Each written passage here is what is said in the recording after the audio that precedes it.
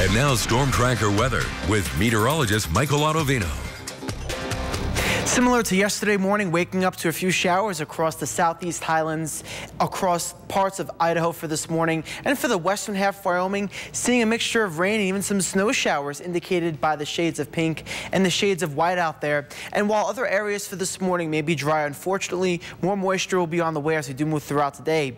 Temperatures currently pretty chilly. Jackson, good morning. Currently 42 degrees in your area. And if you look behind me, if you look really close at those mountaintops, looks like there's some snow out there. Some people may be excited for that, some not so much, but it could be a precursor of things to come. Even across Driggs right now, temperature of 44 degrees, also chilly. Again, seeing widespread clouds in the sky. Unfortunately, it looks like the western half of Wyoming will stay cloudy and also potentially stormy for today.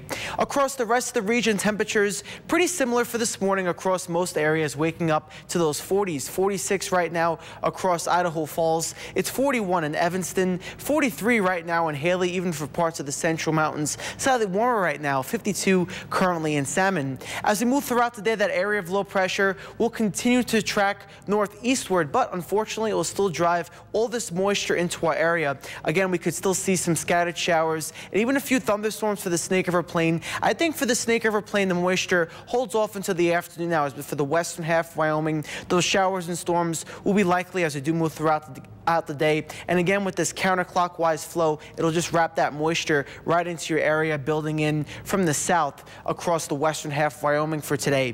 Temperatures continuing to be very chilly. Notice western Wyoming only staying in the 50s, so very cool out there for your area. A slight improvement for the Snake River Plain will be in those 60s, but still jacket weather required for all areas today, along with the umbrella. And as far as the Snake River Plain goes, we'll be at 65 across Blackfoot, 68 for Pocatello. The western half of Wyoming Wyoming, much cooler, 55 degrees for Jackson. Tomming out that moisture for you, 8 o'clock this morning. Again, still seeing some shades of pink and shades of white, indicating a mixture of rain and snow across the higher elevations. But locally for the Snake River Plain, will be cloudy by about 8 o'clock. And again, notice that moisture wrapping around into our area by about 4 o'clock. That's when we could see a few showers passing through the Snake River Plain, maybe even a thunderstorm into the evening hours. But by 10 o'clock tonight, we begin to dry out and drying conditions and also Clearer skies for the overnight means temperatures will also drop and become much cooler. We'll be in the 30s and the 40s for the Snake River Plain. Your Southeast Idaho Chevy dealers, seven-day forecast leaves us mainly sunny for tomorrow.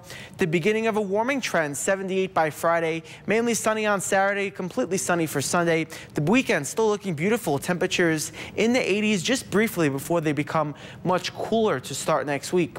Idaho Falls, your seven-day forecast. Chance of showers and storms today. Mainly sunny for Thursday and Friday with high temperatures pushing into the 80s for the weekend. Across the Teton area, Jackson, Afton, and Driggs, showers and storms will be likely for today, mainly sunny for Thursday and Friday. A few clouds on Saturday and also for the central mountains. Salmon, Challis, and Mackay, chance of showers and storms today with partly cloudy skies through Saturday.